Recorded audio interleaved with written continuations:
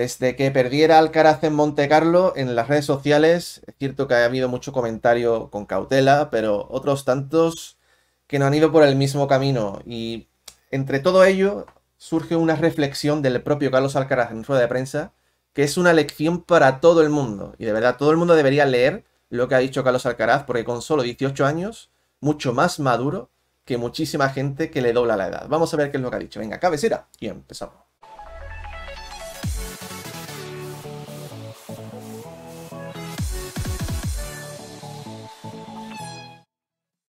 Atentos. ¿Es Alcaraz la versión masculina de Raducanu? Pienso que lo elevamos demasiado al punto de ser considerado un nuevo heredero del Big Three. Sé que es un jugador muy maduro y la culpa no es de él, sino de la prensa y aficionados por subirlo tan rápido. Vamos, que ha perdido por culpa de la prensa y de los aficionados. Fíjate tú lo que son las cosas. Seguramente le venga muy bien. La prensa le habéis hecho creer, nosotros a él, que era invencible con tanta alabanza. Sería una pena. Ojalá se centre muy bien, eso es tan cierto como que no le llega a Nadal ni a la suela de los zapatos. Craso error hacéis la prensa, ensalzando tanto a un jugador. Será otro juguete roto como sigan comparándolo con el más grande. Ojo, Alcaraz debe ser más humilde. Vos hacete cargo de hacerle creer a la gente que el pibito era el nuevo número uno del mundo. No da la talla. Es culpa de ustedes, los españoles, por ser, por ser tan soberbios y agrandados para que se bajen de sus nubes. Jódete. Por culpa tuya, entre otros los elogios, nos hacían creer que era la reencarnación de Roger con Sampras y Nadal juntos. Vamos, que parece como que la culpa también la tenemos nosotros. Culpa de, los que lo endiosaron. Pero hermano, si ustedes son los primeros que salieron a decir que era el sucesor de Nadal, yo no he dicho nunca eso, no sé quién opina eso. Llenándolo de presiones al chico. Imagínate todo lo que le pasa por la cabeza ahora que empezó la gira de arcilla. Vendría bien un poco de autocrítica. Culpa de ustedes, sobre todo los periodistas españoles, que le colocaron todo ese peso encima. Por eso allí escuché a uno decir que ganaría más títulos de Gran Slam que Rafa Nadal, que eso no lo ha dicho ningún periodista español, lo ha dicho otro tío, pero bueno, las cosas. Eso pasa cuando te la pasas un mes entero hablando absolutamente todo el tiempo del pibe. Boludo.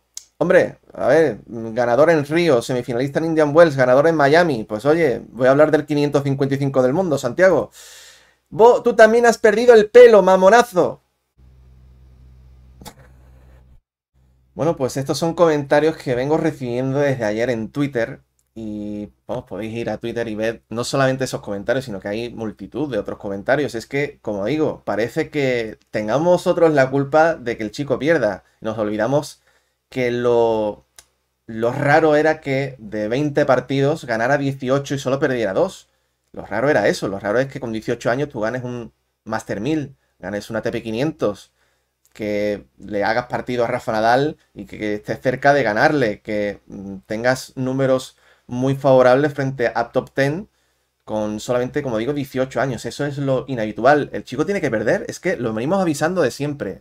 Tenía que perder. Es que tiene que perder. Y va a perder más partidos. Es imposible que repita la temporada 2005 que hizo Nadal con, 19 años de ganar eh, Roland Garros, de ganar algún que otro Master 1000, eso es muy difícil. Eh, cada uno tiene un camino distinto, como digo, y es muy difícil que lo repita. El chico va a perder y en cada derrota se, se va a venir mucha gente en contra. Se va a venir mucha gente en contra y echándole la culpa a unos a otros como si el chico tuviera presión. Y el chico, con 18 años en rueda de prensa, dejó una reflexión realmente que es para leerla para estudiarla, para que sepan cómo funciona la cabeza del chico y para que todos esos que dicen que lo han endiosado, que si, se, que si no es humilde, que si tiene que trabajar más, para que sepan realmente lo que pasa dentro de esa cabeza y lo, bien trabajado que está el chico, no solo en el tenis, sino en la cabeza. Mirad.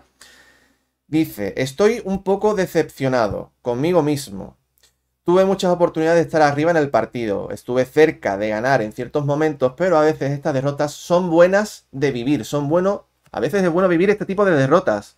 Con 18 años está diciendo esto. Hay que seguir jugando para ir acumulando partidos y experiencias. De momento no estoy pensando, ojo con esto, ¿eh? No estoy pensando en la expectativa que la gente tiene sobre mí. Solo me concentro en mis cosas, en mi camino y en lo que tengo que hacer. Ahora solo pienso en disputar más encuentros en tierra batida. Continúa, ¿eh? Dicen, para, de cara a Barcelona me encuentro bien, estoy listo para volver a entrenar y concentrarme en los próximos torneos. El de hoy fue un partido difícil, pero creo que mentalmente estoy listo para este tipo de partidos. Partidos largos y complicados. Mental y físicamente preparado. La semana pasada, dice Alcaraz, tuve tiempo para darme cuenta y reflexionar sobre lo que conseguí en Miami, pero mi objetivo era aclimatarme lo antes posible a las pistas de arcilla, tratar de mejorar y adaptarme a las condiciones de Monte Carlo. Solamente tuve un par de días libres para desconectar porque nos olvidamos que tiene solo 18 años, que viene de ganar un Master 1000 que no había ganado ningún tenista español masculino en la historia, y que con 18 años se te puede ir la cabeza, pues solamente tuvo un par de días libres para encarar a, los pocos días un torneo distinto en otra pista, como, como él dice, solamente entrené 4 días en tierra, con 18 años, que no es que tenga 20 años de experiencia como Nadal, que de repente se planta en tierra y puede saber las cómo eh, moverse por la tierra, los movimientos, los mecanismos, no. Y ojo lo que dice al final. Para mí lo mejor, lo mejor de esta, de esta rueda de prensa. Todo esto forma parte de nuestro trabajo. Tienes que aceptar las derrotas lo mejor que puedas. Solo es una derrota, no es la muerte. Ojo con esto. Para todos aquellos que están diciendo todo lo que están diciendo, que si no es humilde, que si la culpa tiene otro, que si lo tiene tal, que si la tiene quién, solo es una derrota, no es la muerte. La próxima semana tendré una nueva oportunidad para mejorar y nada más. Sí es verdad que a veces hay algunas preguntas que te hacen daño, pero no tengo ningún problema con eso, fue una parte del tenis. Solo es una derrota, amigos, no es la muerte.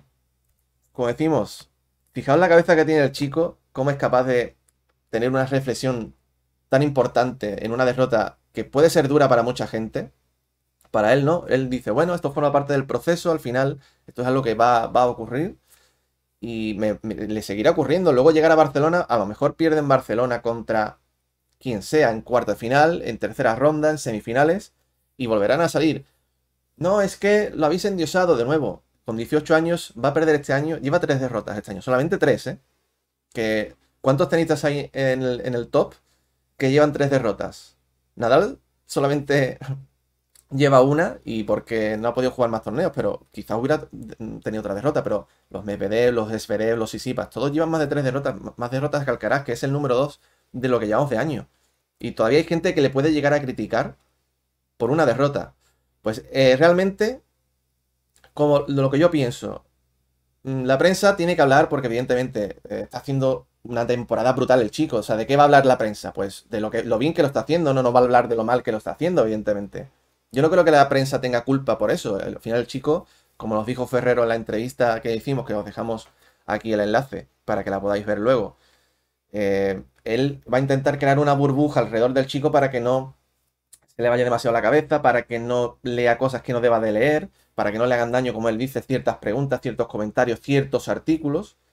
Pero aparte de eso, el chico, él va a lo suyo, él entrena, compite y tendrá que perder. Y lo único que tenemos que hacer es ir tranquilo, disfrutar del camino, porque eso es la vida. La vida no es otra cosa que disfrutar del camino. Sabemos de dónde venimos y a dónde vamos. Disfrutemos del camino, disfrutemos del trayecto, disfrutemos del chico. Que mañana gana un torneo, disfrutémoslo. Que luego pierden otro, pues, oye, ya vendrá la semana que viene, como eh, siempre pasa en el tenis. Que Nadal pierde 15 partidos en una temporada y Djokovic también pierde 10 partidos. Esto, esto es así, el deporte es así. En el deporte gana, sobre todo en el tenis, gana uno pierden 60, 100 o todos los que sea, todos los demás pierden. Lo, normal es perder.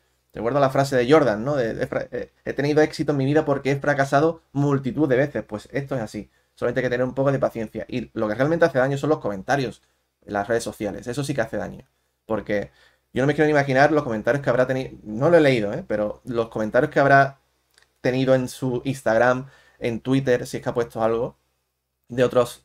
Gente que realmente está esperando que pierda para decirle algo. seguro que en Instagram o incluso en, privado le han llegado a decir cosas. Eso es lo que hace daño.